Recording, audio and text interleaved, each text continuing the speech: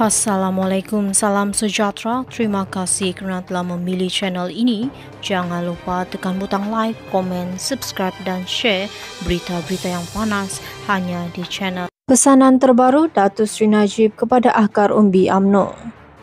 Sejak kebelakangan ini, isu pengampunan Datuk Sri Najib semakin kerap dimainkan oleh pihak tertentu yang mempunyai kepentingan pribadi. Ianya dijadikan model untuk pihak musuh AMNO untuk memecah belahkan AMNO.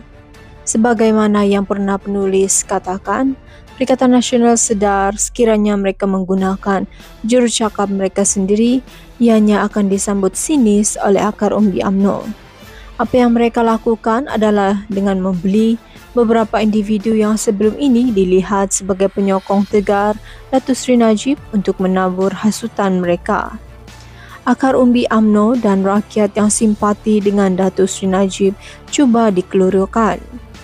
Kononnya kepimpinan AMNO yang ada sekarang tidak melakukan apa-apa untuk mendapatkan keadilan untuk Datuk Sri Najib.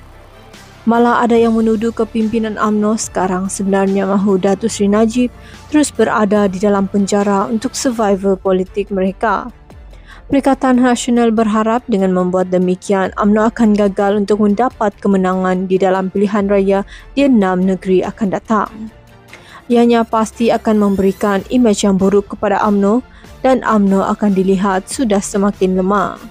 Dengan cara itu, Perikatan Nasional berharap akan ada pemberontakan daripada akar umbi UMNO supaya kepimpinan yang ada sekarang digugurkan. Namun, pesanan terbaru dari Datuk Sri Najib kepada akar umbi AMNO memberikan gambaran yang jauh berbeza.